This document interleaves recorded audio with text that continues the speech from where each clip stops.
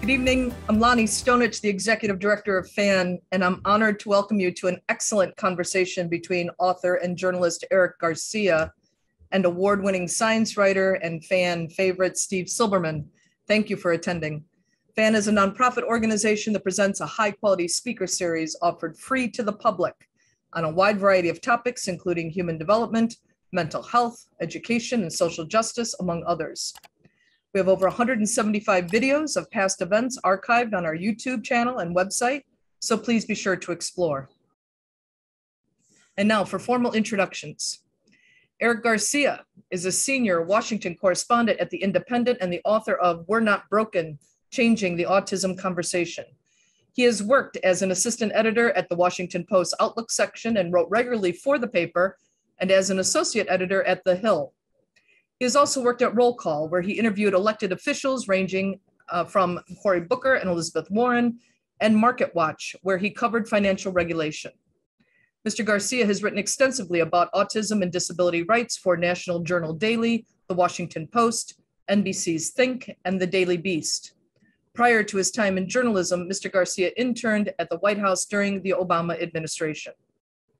Steve Silberman, who is last on the fan stage in 2015, is an award winning science writer whose articles have appeared in Wired, the New York Times, the New Yorker, the Financial Times, the Boston Globe, the MIT Technology Review, Nature, Salon, Shambhala Sun, and many other publications. He is the author of Neurotribes, The Legacy of Autism and the Future of Neurodiversity, a widely praised bestseller in the United States and in the United Kingdom. Neurotribes, I have it up here too. Neurotribes won the 2015 Samuel Johnson Prize for Nonfiction, and it was chosen as one of the best books of 2015 by the New York Times, The Economist, the Financial Times, the Boston Globe, The Independent, and others. And it has been translated into 23 languages. That might be old though. Maybe Steve's got a new number. Maybe it's more than 23 now. 25 now. 25, but who's counting? Oh! Who's counting? It was just published in Polish this week. There you go. Nice. Hold on, I'm, I'm not, I got two more sentences. Yeah. In 2016, Mr. Silberman gave the keynote speech at the United Nations for World Autism Awareness Day.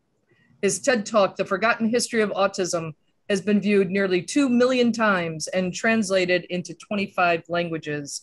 He is one of my favorite human beings in the world. P.S. A complete mensch, a dear man. And now let's welcome Eric Garcia and Steve Silberman.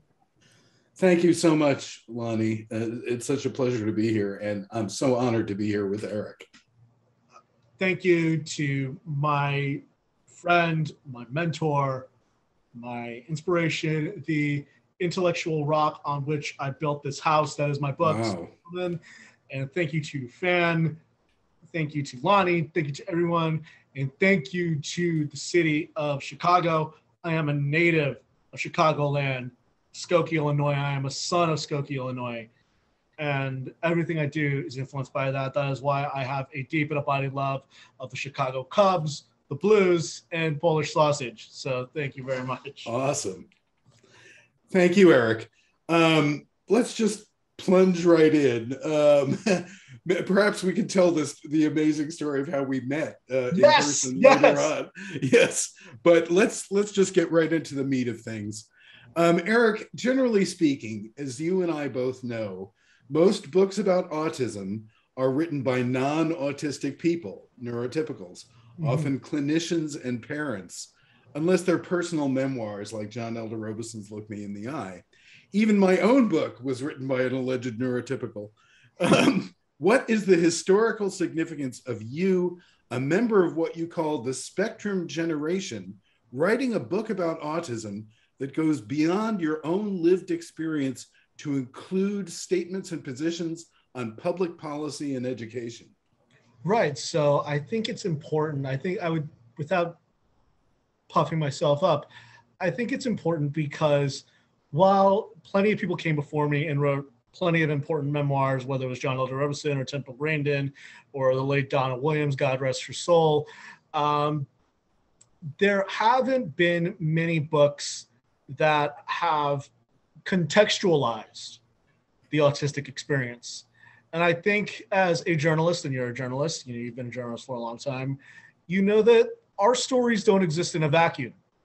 They are part of a larger tapestry. How we rise and how we fall are not just the consequences of individual choices. They are a product of all that came before us, all that is around us, and they will shape what comes after us. And I'm a political journalist. I had no intention ever of writing about autism. I was perfectly happy being an economics reporter uh, back in summer of 2015. That was what I wanted to do for the rest of my life. I had a pretty good life interviewing Elizabeth Warren, Bernie Sanders, well, trying to catch her Elizabeth Warren. She would not talk to me back then. Uh, you, you know, I had a good life. And, but what I realized when I decided to start to write about autism was I realized that A, my story wasn't the complete story about autism. And as a journalist, I felt that was unacceptable. My impulse is to report and to write and to be curious and go, huh, why? Hmm.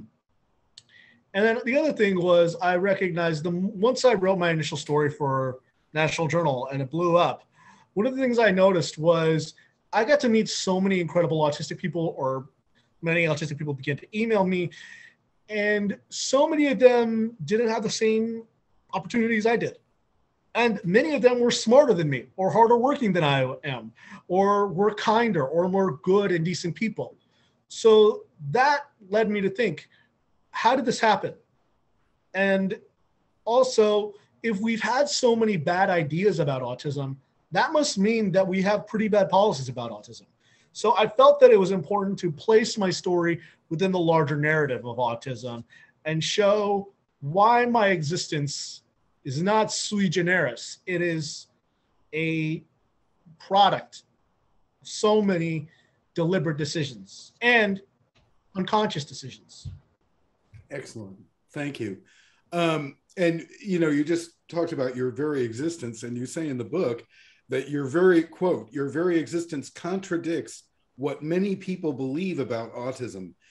If you could talk about some of the myths of autism that you feel have caused the most harm to autistic people and their families over the decades. Certainly. I think, well, let's start with the biggest one, and that is the idea that vaccines cause autism. Um, let's put that out right in front. That is unadulterated lies and untrue. And it has caused countless people to suffer. But let's get to the let's go to the bigger root of it, which is that why are people afraid of vaccinating their kids and why are people afraid of their children becoming autistic? They are afraid of their children becoming autistic because they have been told that autism is a death sentence. They have been told that it is worse than death. They have been told that it is better for your child to die of measles than it is for them to live with autism, that their life is not worth living. The other myths that your book so wonderfully articulated was the uh, terrible myths that Bruno Bettelheim spread that uh, it was caused by unloving mothers. I believe in your book probably one of the most disturbing things was he compared autistic people to the conditions in Auschwitz and the uh, concentration camps. The other thing was, of course, that we had a very, very limited idea of who could be autistic. Uh, Leo Kanner, who did research uh, in Baltimore, about two hours away from where I live, his first real research was, as you know, of nine Anglo Saxon children and two Jewish children eight of them were boys and three of them were girls. Conversely, over in Nazi occupied Vienna, Hans Asperger um, initially didn't believe that girls could be autistic. So, what has happened is we have seen that we have a very, very narrow view, not only of who autistic people can be, but what autistic people can do and where they belong in the world. And that has led us to have very harmful ideas. That is what is the underlying driver of why people subject autistic people to shock therapy. That is why so many parents get lax sentences when they murder their autistic children. That is the rationale for paying autistic people below minimum wage and arguing that they belong in institutions and that they cannot live full and good and meaningful lives within their communities. So these policies are the bad fruit, are, are the rotten fruit of bad ideas, so to speak. Yes, absolutely. And uh, I'm going to agree with you and, and add something as well. I think that the notion that autistic people do not have empathy yes. is also and and don't want to have friends or want to love their parents. I think that that dehumanized autistic people in the public mind to the point where they're willing to accept not even shock therapy uh, at the Judge Rotenberg Center. It's punishment. It's painful electric shocks as punishment. Yes. And and one of the things that I didn't have room for in my book, unfortunately, was that I talked to a psychotherapist who went to the Judge Rotenberg Center because he wanted to be open-minded and see what was going on. And he asked to receive the shock. And yeah. uh, he was skeptical that it was, you know, would be so bad. It was hell. It was yes. absolute hell. And the only way that that kind of uh, treatment would be acceptable would be if the people being treated were not considered human. Yes. And and the notion that autistic people are not quite human or missing the thing that yes. makes people human, I think that's also done tremendous amount of damage. Certainly, and I believe that it was Ole Ivar Lovaas who said the autistic people are not even human in the way that we consider them human. I'm, I'm butchering his actual words, but he said was, you have to build a person. Yes, yes, yeah. that, is yeah. that is what he said. Yeah. Uh, and it is, uh, and that underlying idea that autistic people are not people.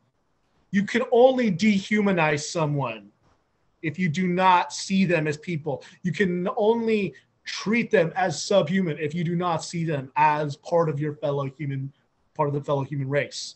And the idea that autistic people are unempathetic or that they don't know how to express love uh, you know that you you had a whole part that was part of the reason why Jim Sinclair said "Don't mourn for us," you know, is because he uh, they, they, had seen uh, pardon pardon me I misgendered, but they had seen the um, parents express sadness that their child would never say that they love them. But the truth is is that your child does know how to say they love you.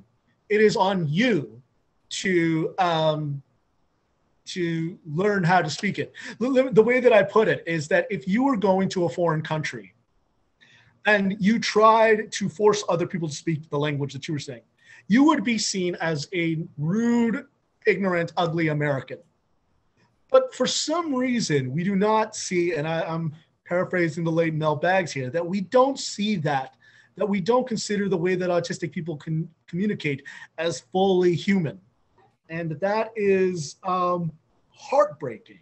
And that is a it should be a damning testimony for who we are. The fact that the united nations special rapporteur on torture calls the judge Rotenberg center a violation of human rights should be a damning indictment of the united states of america that we continue to do this.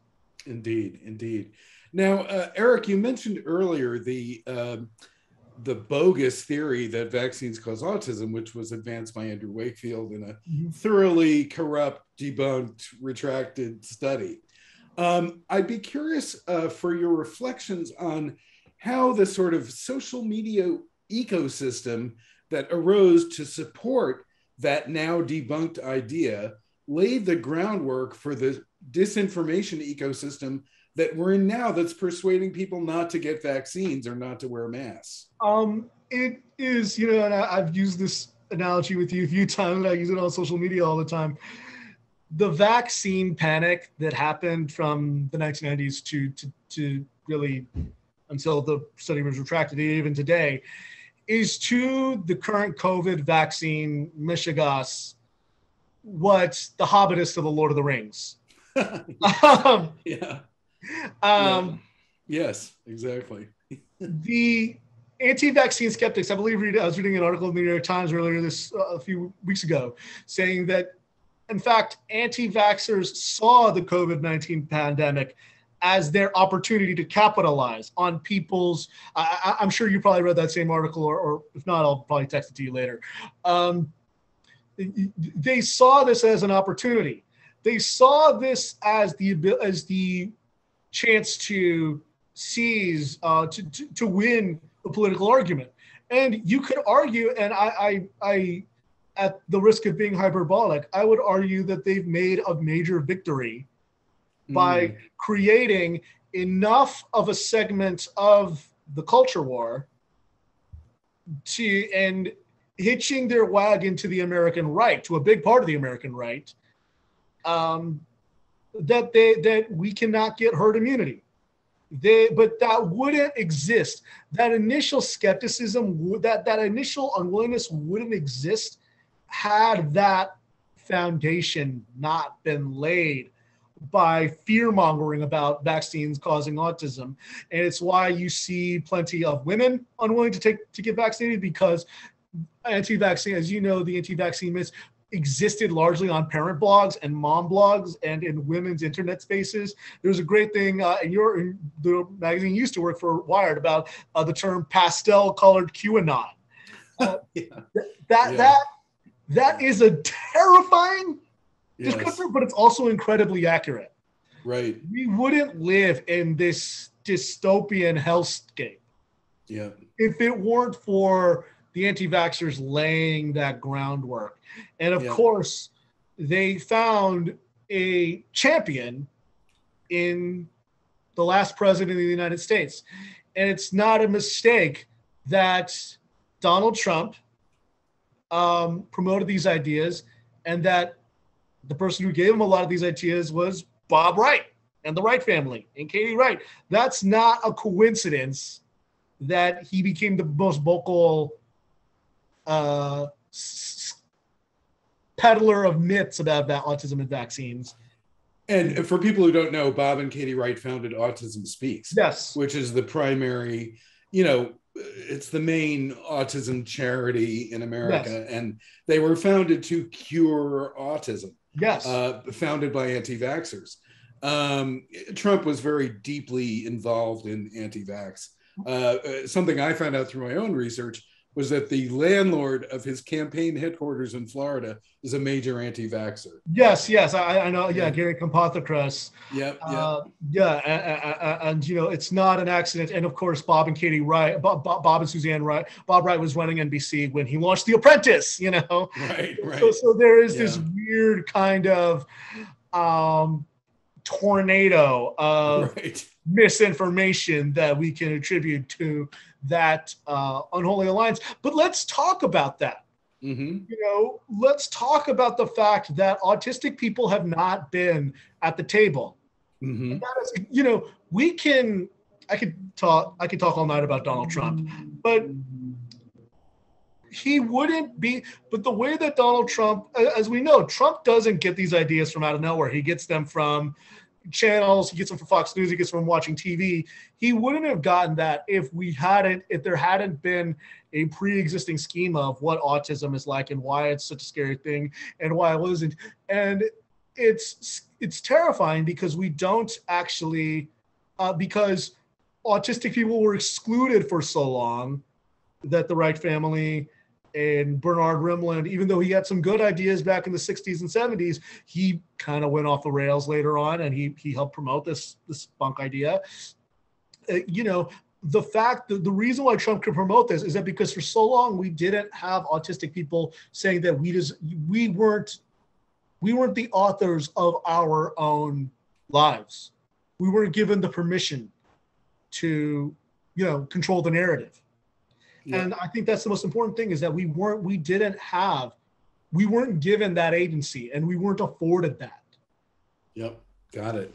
Um, in better news, uh, the, the the last few years have been very distressing uh, in many ways. Yes. We've also seen some real breakthroughs in the representation of autistic people in media.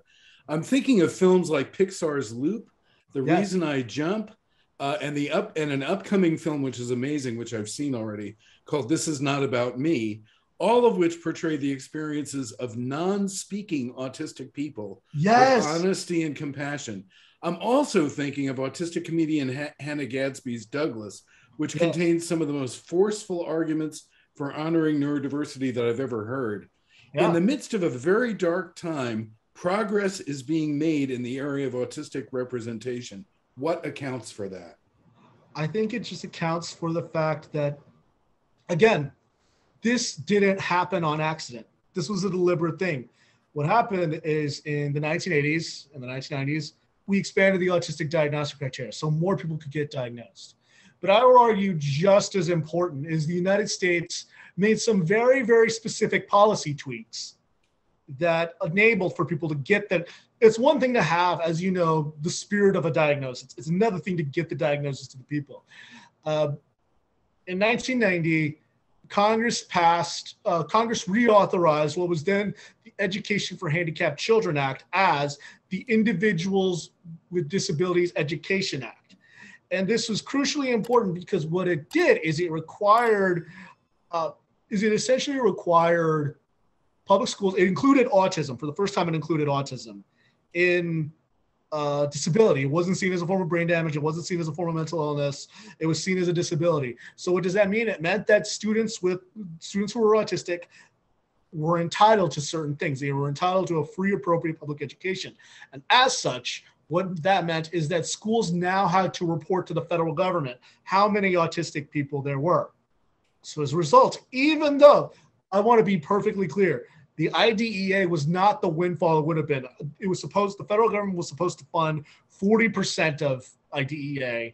It's only funded ever around like 14%, 14, 15% on average.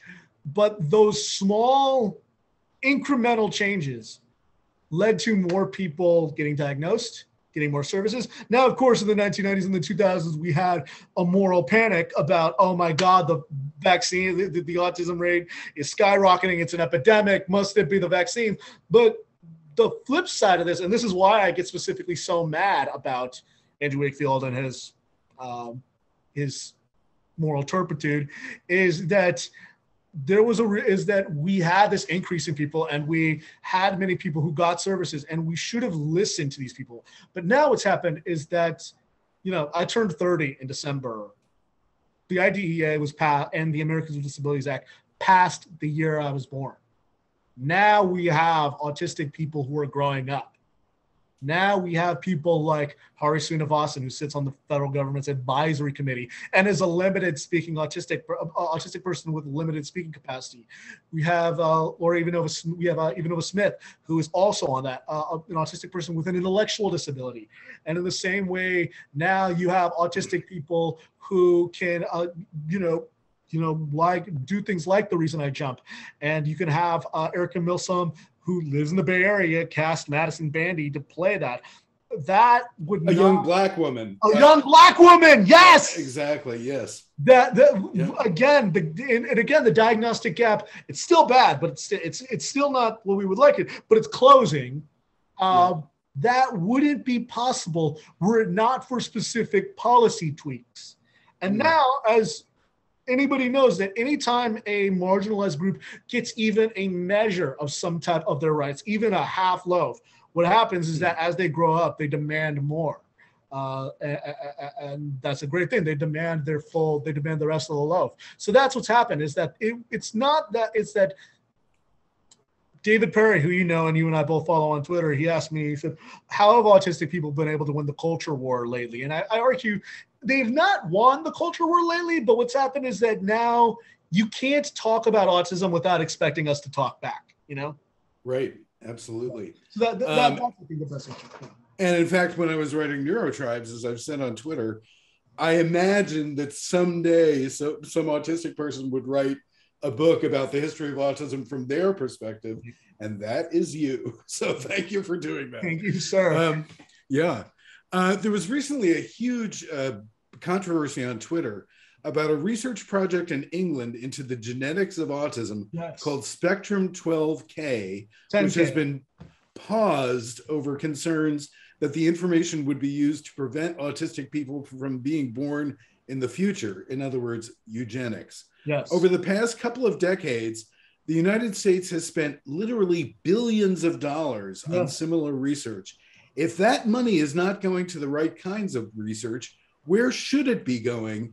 And how can we, as both autistic people and neurotypical allies, help get it there? So let's start with one of the biggest things that I argue, which is that um, the biggest killers for autistic people, the biggest killer for autistic people with intellectual disabilities is epilepsy. People dying from epileptic seizures. Conversely, the biggest killers for autistic people without intellectual disabilities are circulatory conditions like heart disease, followed by suicide. Um, on top of that, so so you know, a lot of people when they when I say that we should accept autism, they think that I mean that you know we should accept all the good and the bad. No, I think it's a disability. I believe it's a disability and it comes with impairments. Let's focus on those impairments. Let's focus on those things, but let's not try to fundamentally alter them, uh, under also alter who autistic people are. Let's focus on the things that really do cause harm and pain for autistic people while also maximizing their potential. Let's also note that many of that autistic people have some of the lowest unemployment rates even among their fellow disabled people and even among people with intellectual disabilities and other types of dis- developmental disabilities. They have a lower unemployment rate. Employment they, rate, I think. No? Uh, employment rate, yes, yes, yes. you're right. Yeah, they yeah. have a lower employment mm-hmm. rate. Yeah, that's what yeah. I meant. Yeah. Um, and then also, let's take, let's even take a step back there. Um, there are employers who employ autistic people, but they don't know they they employ autistic people. Eric, hold on one second. Um, I'm sorry. No, you didn't do anything wrong. Steve, I think uh, will come right back in. So let's just wait one second for him to come back in. Maybe okay. he had some kind of glitch on his end. So we'll just wait for him to come back in. Yeah. yeah. Um, and uh, hold on one second. I'm going to mute myself. There he is. Oh. Oh. Let's see what's going on. Hi. Hi. Sorry. Sorry, I'm back. Uh, yeah. I don't know. I don't know what happened. It just froze. That's okay. Yeah, don't worry so but but uh but, but but you know there's a racial and gender gap. Let's focus on that. Let's focus on the fact and let's focus on the fact that a lot of employers don't realize that they're employing autistic people. And a lot of autistic people you know something that i talked with the new york times about i haven't seen a lot of research on autism and burnout. Um, yeah absolutely. that is something that a lot of autistic people deal with. Uh, we are not focusing on we're not doing research on what can be done to ensure that autistic people can live in their communities? Because we know that autistic people who live in the community have a better life expectancy rate. Uh, autistic people they have better health. Their families are better off than if they're you know sheltered away in institutions or group homes or things like that. We haven't seen we haven't done a lot of research into that. We haven't done a lot of research into what the best services are. Uh, we don't really know. There was a gao report that i was looking at a few months ago showing suggesting that we should probably be looking at the transition from childhood to adulthood um, a little bit earlier in high school. Why? But we aren't really focusing on that. There are a lot of things we could be focusing and spending a lot of money on. Uh, the, the, the, federal government, we spend, you know, in 2016, I think something like $360 million was spent on autism research between the public and the private sector. That's a lot of money. And the United States is also the biggest spender on autism research. So what we do um, affects everything else. And it will dict- and it dictates what the United Kingdom, Australia, a lot of other countries will research. So we are the trendsetters. The United States is the trendsetter. So when we say these are the priorities and these are our values, that dictates what every other country is going to do. And I don't think you would have the Spectrum 10K stuff had you not seen years of research and focus into genetics and biology stateside. That's great. Uh, and I think that, uh, as you mentioned earlier, now that there are uh, uh even non speaking and intellectually disabled autistic people on the Interagency Autism Coordinating Committee, uh, it will be nice to see autistic input into the research agenda. Yeah, and they probably have better insights to what their respective communities need than I do. So, and that's what we need. That's what we expect. We would consider it we would consider it glib, and we do consider it glib when there is a all white male panel on diversity. Right, exactly. But for some yes. reason, we think it's acceptable to talk about autism while talking past autistic people. You know? Yeah, indeed. And um, let me ask you, uh, since you just mentioned, um, you know, diversity committees of white people, I'm curious if you have ever experienced racism uh, for being a person of color in autistic spaces? Thankfully, no. Great. I. That's not to say it doesn't exist. Mm-hmm. That's not to say that I haven't. There haven't been individual people who might who might be autistic who I don't know Mhm. are autistic. That doesn't mean that I Mhm. don't experience. But I Mhm. would say that there has not been individual racism, but I Mhm. do think that it's important to note that there still is a lack of leadership voices Mm. of leadership by people of color, by queer people, by uh, indigenous people, by a lot of other groups. So I would say that while I myself might not have experienced racism, that doesn't mean that there isn't still a problem within the systems and structures. Um, that- Excellent, that's- yes. So, so you know, you know all Yeah. about this. It's racism and ableism and homophobia and trans. I am not sure what's happening, folks. Um, Eric, I don't know if you can Oh. hear it. Can you hear? Okay, so you're good. So Steve is going back out and coming back in. Um, you froze on my screen, Eric. I'm sorry. Oh, no, don't apologize. It's not your fault. So we'll get Steve right back here. And don't worry, Sorry about. Sorry about that. Steve, I'm not sure. I don't think it's you. I don't think anyone needs to apologize. It's just you know, Zoom, Zoom ether world. Uh, can you could Okay. turn your camera on for us though? Yes. Okay. Am I back? Yeah, you are back. Yes, On my screen, Okay. so can I just interrupt for one second? So Steve, on your screen, was it Eric who froze? No, it was. It, oh, I'm sorry. It was Eric who froze. It was Eric who froze, yeah. So I don't think Yeah. you need to necessarily exit at that point, Steve, because um, because he actually unfroze after a few seconds. Oh, okay. And All just right. for, for viewers at home, in the final video that we post on YouTube and that we send out to folks, our AV person will clip out me talking and all these interruptions. So it'll be smooth in the final video. So I will great. now, I'm now disappearing again.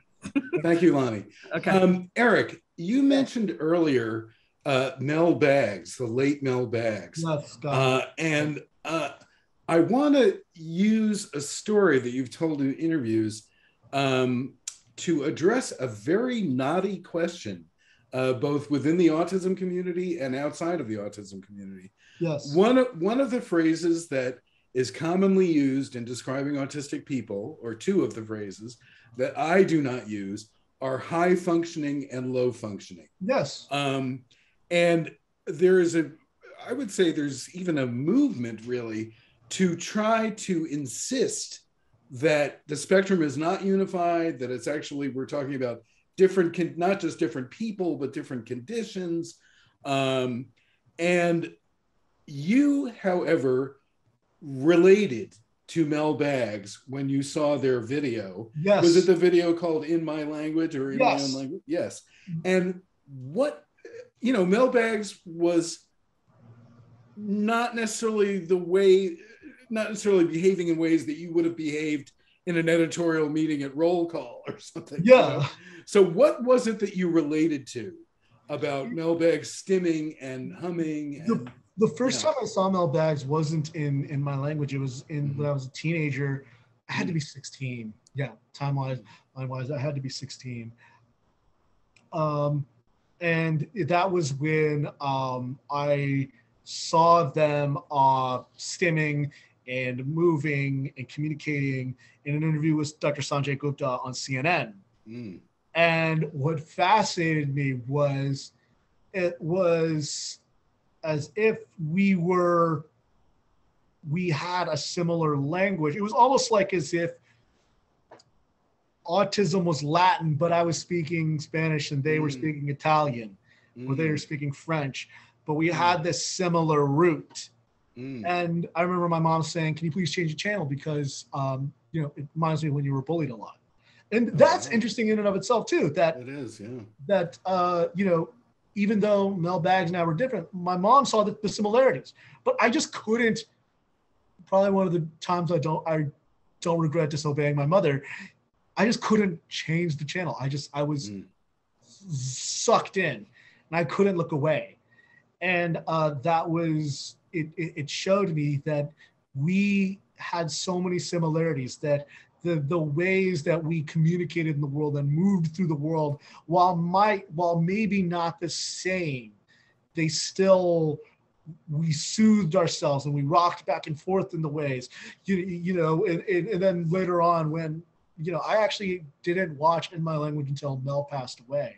Mm. And then when I did, uh, I watched, and you know, like one of the things I noticed is that they put their face against uh, a page of a book, and I right now I'm, I'm so that when I read an excerpt, I'm you know bookmarking with my middle finger, and it feels damn good to put your to rub your hand against a. It's a form of stimming, and it feels incredible to to to run your fingers through a book chapter.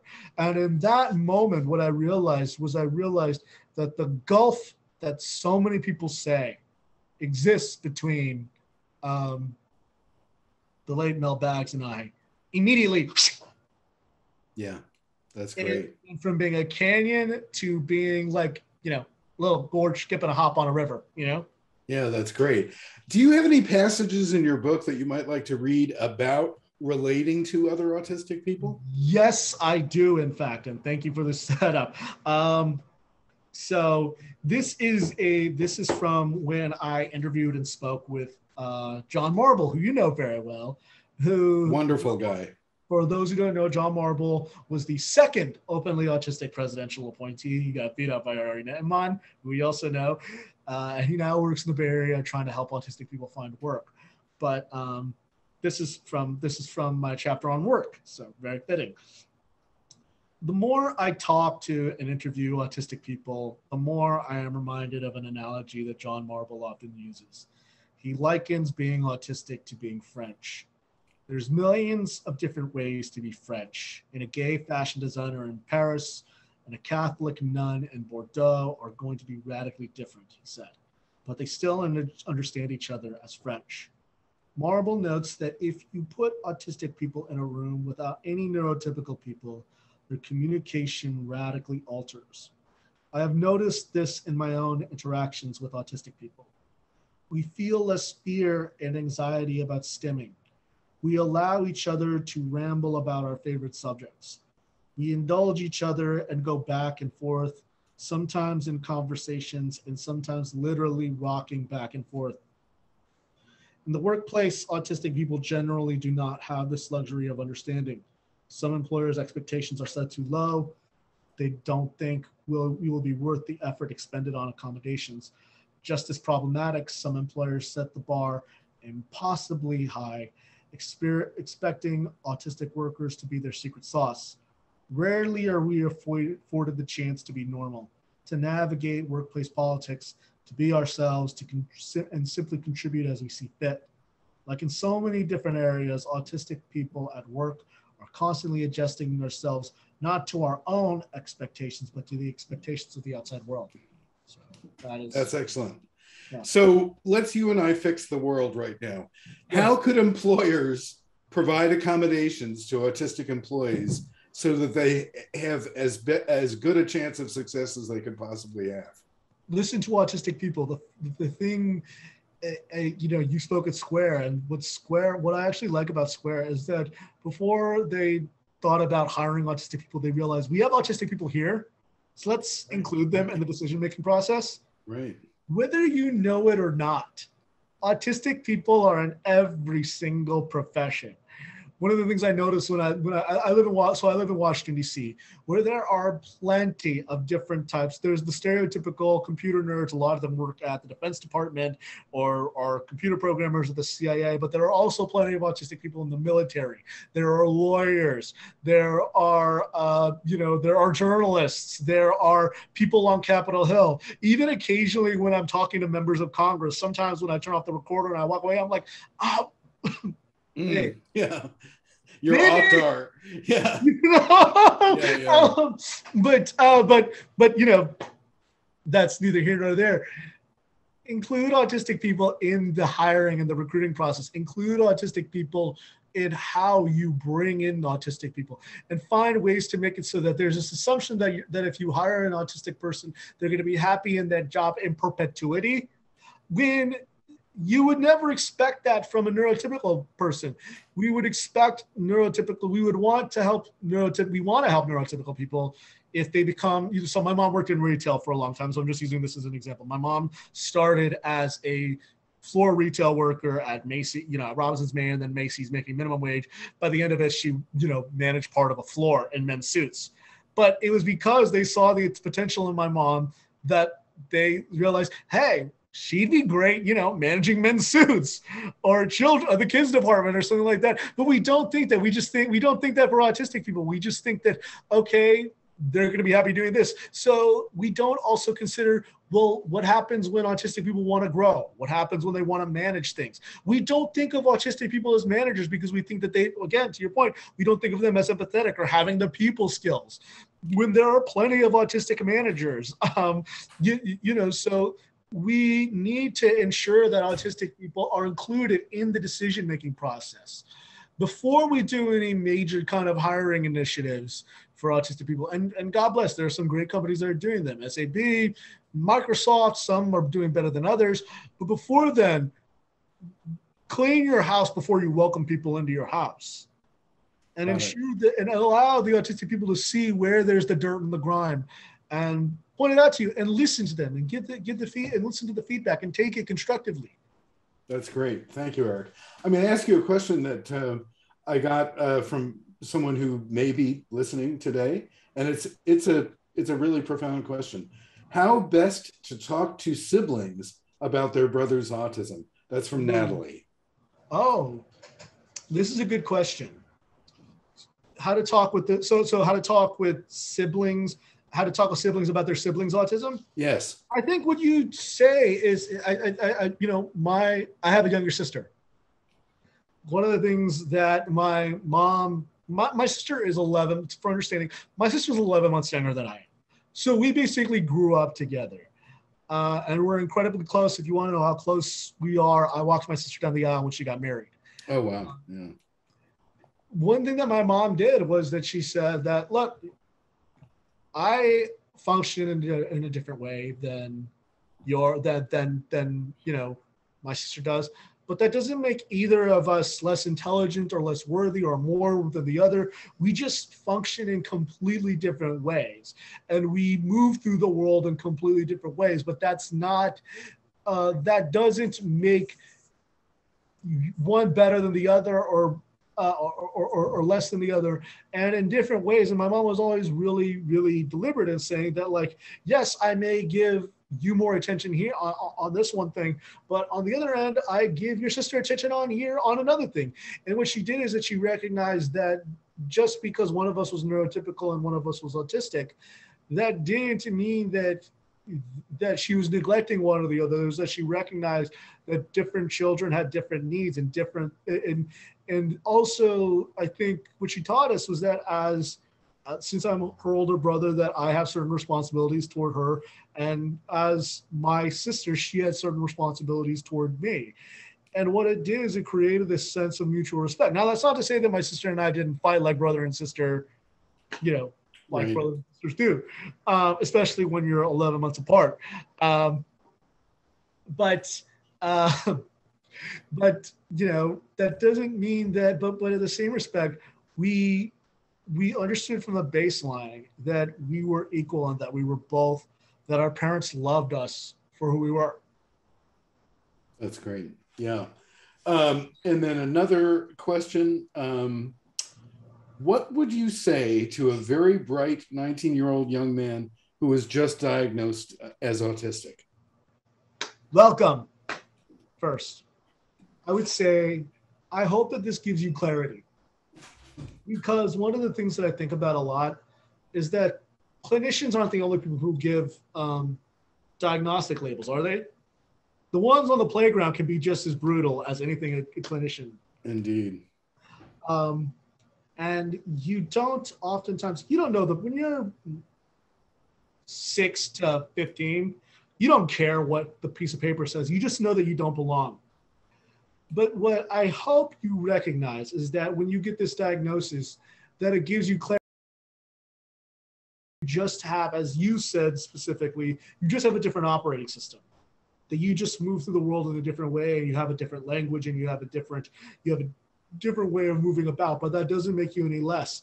And the thing I would also say is that even if you feel alone, if you feel like in your own community there's not many other, other autistic people, there are plenty you're not alone that we have that you are part of a wonderful neurotribe, if I may, um, and a family and a kinship and that even though we are all autistic in different ways and our autism and our autism is as much affected you know it's funny I, I, think about it it's like people say like oh people say like how are you uh, you know you write about how you're affected by autism. I'm like i affect autism as much as autism affects me.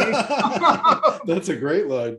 Yeah. But but you know we we're all different and we all do it but in the same respect we do have that commonality and we do have this tie that binds us and this thread and this fabric. And I hope that whenever you feel alone, that you recognize that you belong and you have other people like you. And you have an and that if you have a family at home that loves you great. But now you have another family. You have another you have another group of people who understand you and who love you. And one thing that i hope comes through in my book I, was just thinking about this the other day. There are plenty of people who can who can understand different things or take away different things from my book. One thing I want people to take away, I hope people understand, is how much I love autistic people. Um, I hope that that bleeds through in every page. It's how much I love autistic people. That's wonderful. Um, we're going to go to questions uh, from the audience and Lonnie in a moment.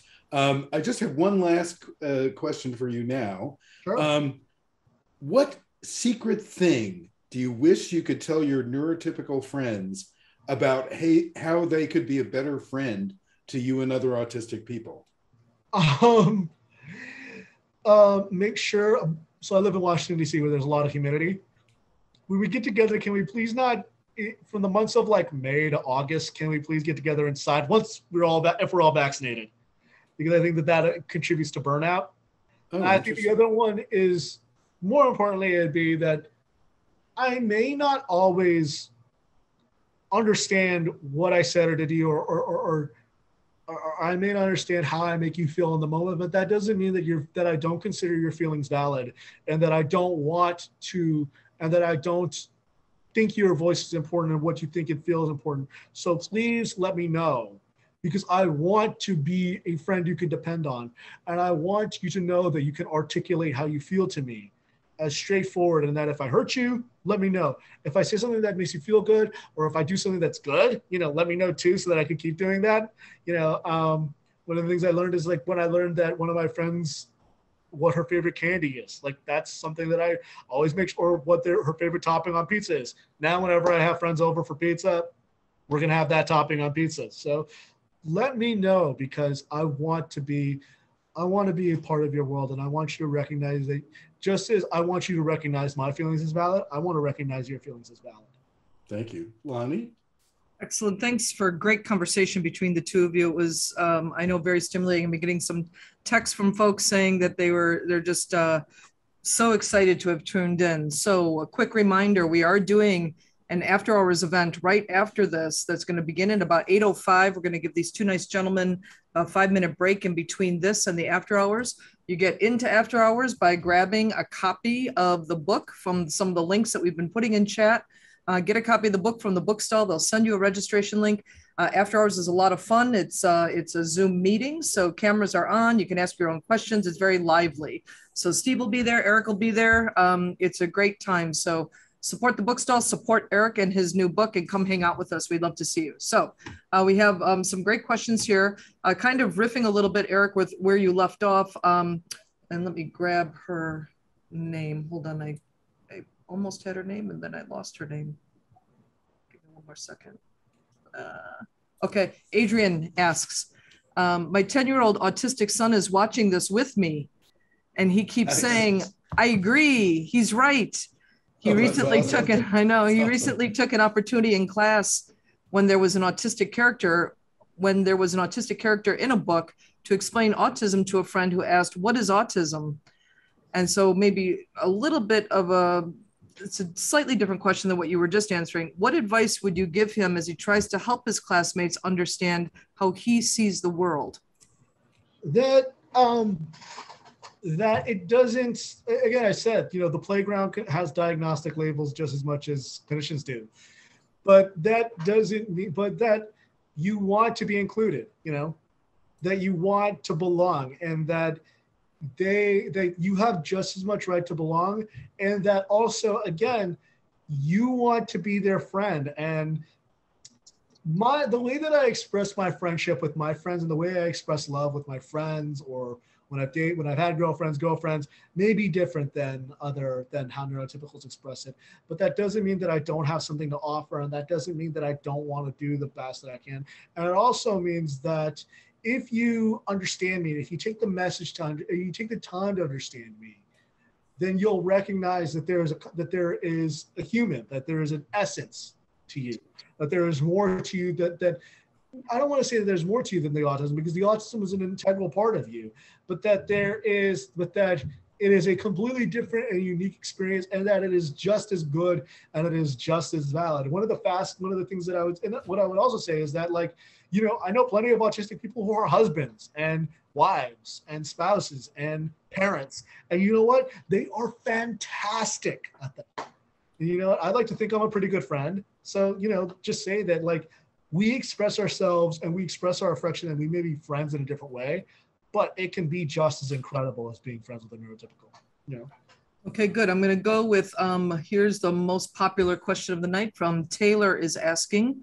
I would love to know about your thoughts on types of therapies typically, quote, prescribed, unquote, to autistic people. Mm. Specifically, ABA is almost universally recommended very strongly yeah. to parents of autistic children in the same breath as they receive the diagnosis. However, it seems incredibly controversial in the art- autistic community, but many parents are feeling stuck with therapies that may or may not be the best for autistic people.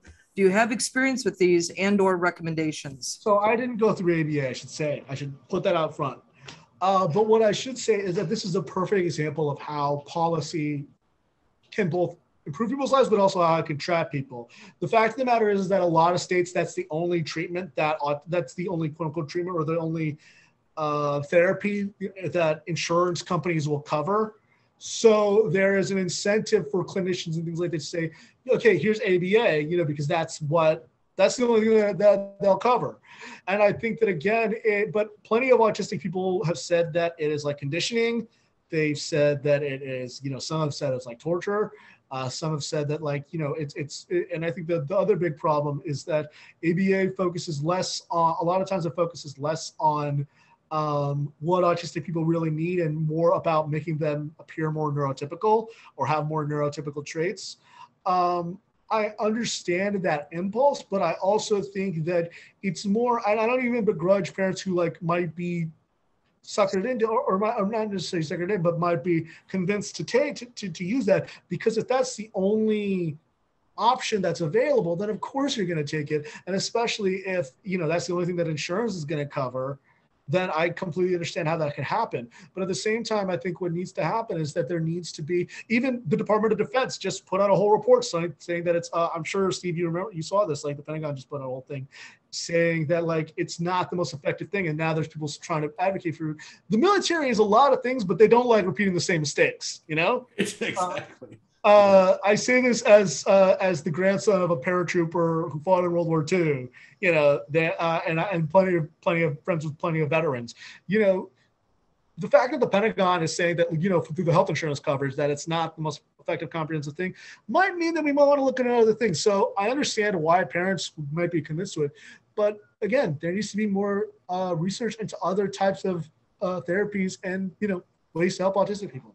And uh, l- let me just jump in briefly. Um, I want to recommend uh, for parents who feel that their children are having challenging behavior, they don't know if they, you know, need to do ABA, which is often the only thing offered to them, as you said. I would also recommend a book called Uniquely Human by Barry Prizant, who practices a different form of therapy called SCERTS, which is much more respectful of the autistic individual.